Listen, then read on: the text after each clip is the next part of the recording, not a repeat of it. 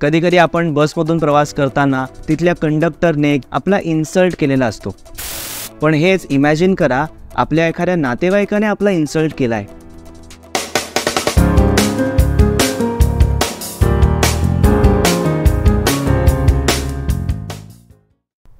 आज आपण बघतोय की क्षमा कशी करता येऊ शकेल?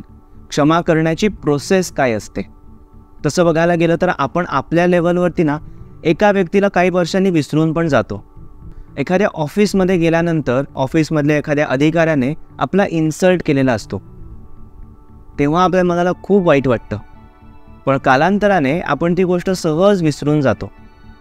पण हेच इमॅजिन करा आपल्या एखाद्या नातेवाईकाने आपला इन्सल्ट केला आहे आपल्या भावा बहिणींनी किंवा आपल्या अगदी जवळच्या मित्राने आपल्याला खूप जास्त मानसिक त्रास दिला आहे तर हा त्रास विसरणं बऱ्याच वेळेस अवघड जाऊ शकतं.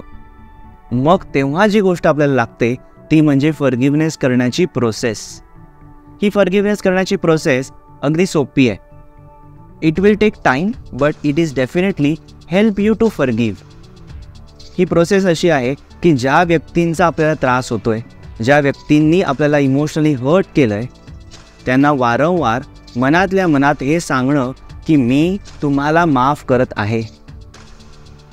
जेव्हा आपण मनापासून त्या व्यक्तीला माफ करायला लागतो तेव्हा आपल्या हृदयामध्ये आपल्या ऑरामध्ये जिथे कुठे हा राग हा द्वेष किंवा ही हर्ट फिलिंग आहे ती ग्रॅज्युअली निघायला सुरुवात होते. कारण या अफर्मेशन्समुळे त्या एनर्जीला आपण डिटॅच करतो.